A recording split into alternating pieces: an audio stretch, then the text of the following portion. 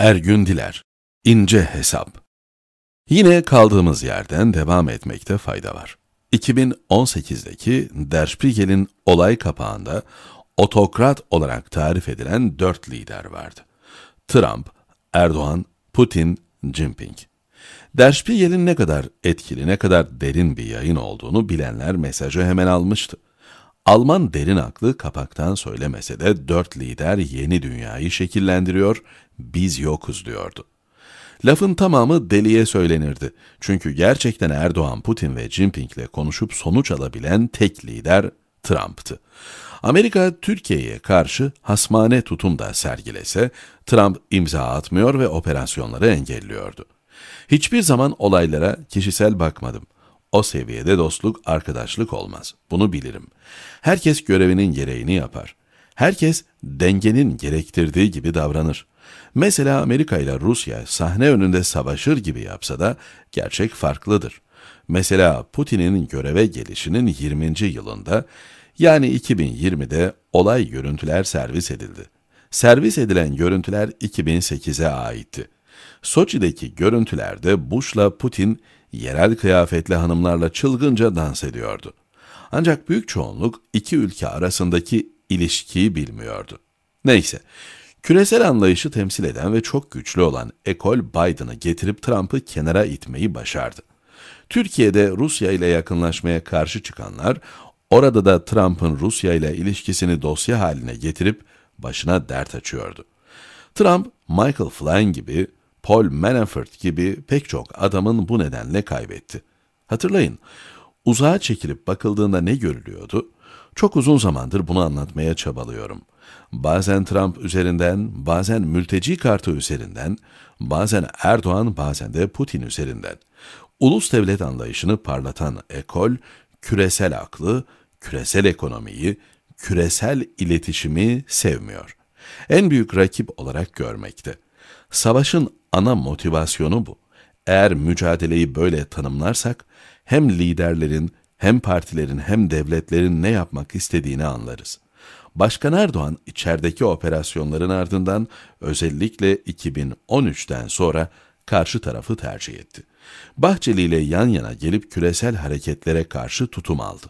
İçeride konuştuğumuz faiz, döviz, enflasyon bunun sonucuydu. Ana vatanı Avrupa olan küresel akıl parayla geliyor ve bir medeniyet çerçevesi çiziyordu. Bunu en iyi anlatan da Macron'du.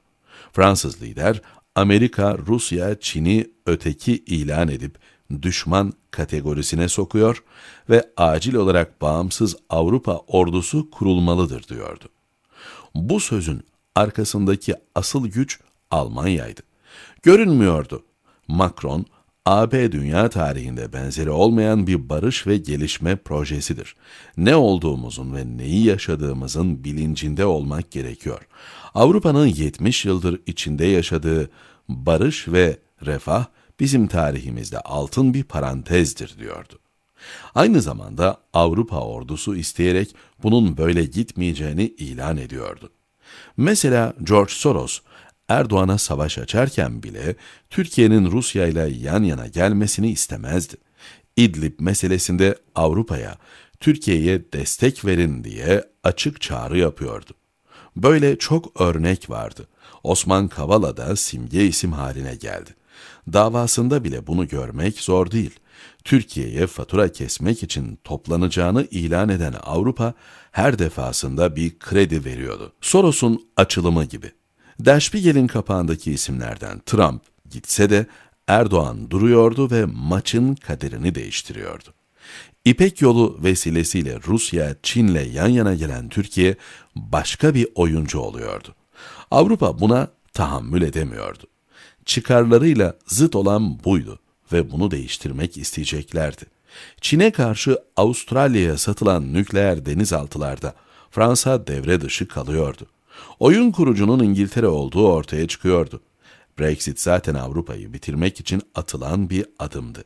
Bütün gelişmelerin altında yatan mücadele buydu. Avrupa Türkiye'yi kazanmak için her yolu deneyecekti. Başka şansları yoktu. Bunu daha da şiddetli bir şekilde hissedecektik. Kemal Bey'in TÜİK'in kapısına gitmesi de. Muhalefetin boğaz içindeki olayların içine girmesi de aynı koordinatlara işaret eder. Biz küresel bir kavganın en önemli virajındayız. Sancıların nedeni bu. Ergün Diler, Takvim Hande Fırat Bir süredir beklenen af. Ankara'da bir süredir beklenen oldu. Lütfi Elvan'ın Hazine ve Maliye Bakanlığı'ndan affı, Cumhurbaşkanı Tayyip Erdoğan tarafından kabul edildi. Ankara kulislerinde uzunca bir süredir Lütfi Elvan'ın faiz başta olmak üzere ekonomi politikaları konusunda Cumhurbaşkanlığı ve Cumhurbaşkanlığının ekonomi danışmanlarıyla uzlaşamadığı biliniyordu. Toplantılarda Elvan ve ekibinin Cumhurbaşkanlığı ekonomi danışmanlarıyla tartıştığı bile konuşuluyordu. İstifa edeceği hatta ettiği söylentileri iki hafta önceki grup toplantısında daha da arttı. Çünkü 17 Kasım günü Cumhurbaşkanı Erdoğan AK Parti grup toplantısında beraber yürüdüğümüz arkadaşlarımızdan faizi savunanlar kusura bakmasınlar. Bu yolda ben faizi savunanla beraber olamam olmam demiş ve Lütfe Elvan'ın da salonda bulunanların aksine Erdoğan'ı alkışlamaması kameralara yansımıştı. Erdoğan'ın sözlerinin hemen ardından da 18 Kasım Perşembe günü zaten Merkez Bankası faiz indirimine gitmişti. Kulislere o hafta Elvan'ın Hazine ve Maliye Bakanlığı görevinden affını istediği, Cumhurbaşkanı'nın ise bir süre bekle zamanı gelince söyleyeceğim dediği iddiası yansımıştı. Üstelik tüm bu süreçte ekonomiyle ilgili yayınlara çıkmaması, açıklama yapmaması da dikkatlerden kaçmadı. Kısacası Elvan'ın yerine Nurettin Nebati'nin göreve getirilmesi sürpriz olmadı. AK Parti içinde yeni politikayı uygulamak için yeni politikaya inanmak gerekiyor. Bu nedenle görev değişikliği normal değerlendirmesi yapılıyor. Cumhurbaşkanı Erdoğan yeni ekonomi politikası ve hedeflerini TRT ekranlarından faizi düşürmek suretiyle yatırım, istihdam, üretim, ihracat ve büyüme bu dört tane ana başlık bize büyümeyi getirecek.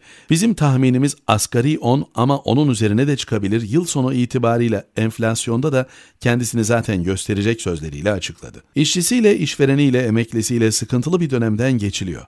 Tabii ki yeni ekonomik politikanın başarıya ulaşması ve sıkıntılı sürecin bir an önce geride kalması öncelikli beklenti. Peki bu yeni politika uygulanırken ne gibi adımlar atılmalı? Ya da bu politika sonuç vermezse ne olur? Soruların yanıtlarını yine iktidar partisinin içinde aradım. Konuştuğum isimlerin dikkat çeken önerileri var ve bu önerileri sizlerle madde madde paylaşacağım. Ekonomide dört ana başlıktaki politikalar önem taşıyor. Para politikası, maliye politikası, yapısal reformlar ve adalet. Bütüncül bir politika izlenmesi gereklidir. Yeni ekonomik politikanın en önemli unsurlarından biri yüksek faizle mücadele ve faizde indirimin sürmesi ise o zaman bu süreçte faiz dışı unsurlarda adım atmak gerekiyor. Yapısal reformların somut sonuçları orta vadede alınır ancak yapısal reform ve takvimini açıklamak hemen beklentilere yansır. Olumlu gidişat başlar. Bu süreçte vakit kaybetmeden gerekli yapısal reformlar açıklanmalıdır. Adalet alanında uluslararası arenada da beklentileri karşılayacak adımları atmak, güven tesis ederek sermayeyi cezbeder. Türkiye adalet alanındaki eksikliklerini beklentiler çerçevesinde yerine getirmelidir. Cumhurbaşkanlığı hükümet sisteminde yetki dağıtımının üzerinde düşünülmesi gerekir. Devlet Planlama Teşkilatı'nın geçmişteki ağırlığının eksikliği hissedilmekte. DPT kadroları Cumhurbaşkanlığı Strateji Başkanlığı'na dönüştü.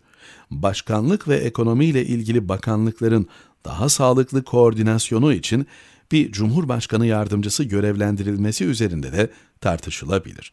Bu görüşler parti içinde süreçle ilgili kafa yoran ekonomik kökenli isimlere ait. Görüşlerini Cumhurbaşkanı Erdoğan'la da paylaştıklarını söylüyorlar. Hükümet söz konusu öneriler doğrultusunda adım atar mı? Önümüzdeki süreçte göreceğiz.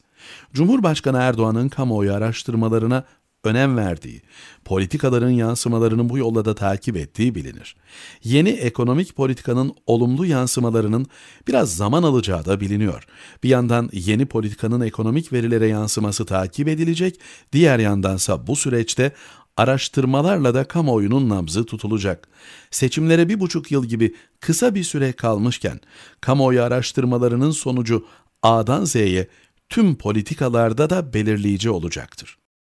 Hande Fırat, Hürriyet